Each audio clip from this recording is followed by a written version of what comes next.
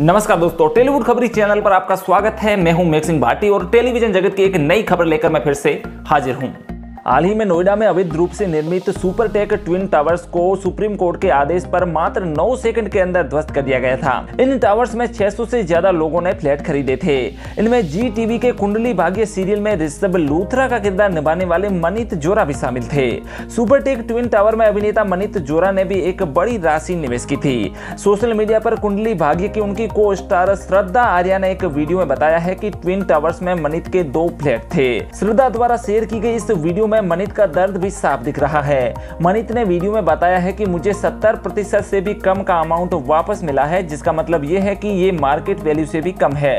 लेकिन मैं इस बात से खुश हूँ कि मैंने जितना निवेश किया था, उसका एक बड़ा हिस्सा मुझे दोबारा मिल गया है।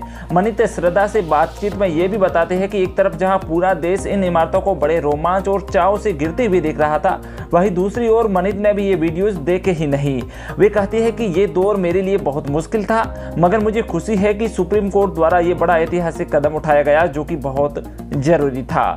चलिए आप भी देखिए इस वीडियो का कुछ भाग। Uh, not many of you know that the twin towers in Noida, which were brought down recently, Manit had flats in both the towers. Twin tower गिरे 9 सेकंड के अंदर उसके अंदर हमारे मनित के फ्लैट थे तो फिर गवर्नमेंट ने आपको कितने पैसे दिए 70%, much less than that, much lesser than the market value, much, much lesser than the market value.